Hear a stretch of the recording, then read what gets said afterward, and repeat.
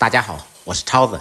您知道炒青菜怎么做好吃又好看吗？为什么自己炒的青菜不脆还总出水呢？今天我来教你技巧。首先准备两块钱的油菜或者上海青，也可以用其他自己喜欢吃的蔬菜。先把油菜的叶子一片一片摘下来，它的根部含有很多泥土，最好是摘下来一片一片的清洗。摘好的油菜放入大盆中，加入清水，反复清洗两遍，彻底洗净。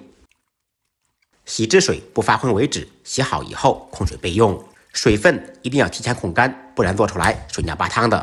利用这个时间准备一下小料：四粒大蒜，趁其不备，拍匀剁碎。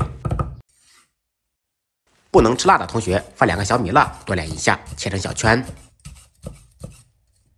切好以后一同放入碗中。炒青菜好吃的关键离不开猪大油或者油渣，这个油渣是熬猪油时剩下的，放到冰箱冷冻储存。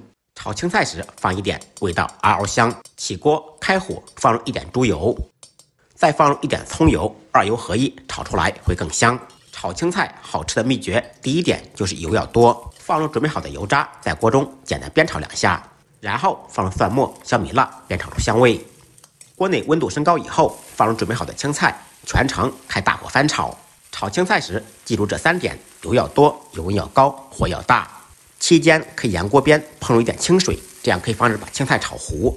而且水经过高温蒸发，变成水蒸气，产生物理现象，炒的青菜更加翠绿。开大火把青菜炒至断生，炒至垂头丧气。前期先不要放盐，放盐太早会出水。断生以后再调味，放入适量的盐，一点白糖提鲜，中和味道。继续简单翻炒扒拉两下，使调料全部化开。放入一点蚝油，代替鸡精、味精，提鲜提味。继续开启高速旋转模式，炒青菜要的是原色，是不需要放酱油的。出锅之前淋上与葱油，提色提味，翻炒均匀，起锅装盘。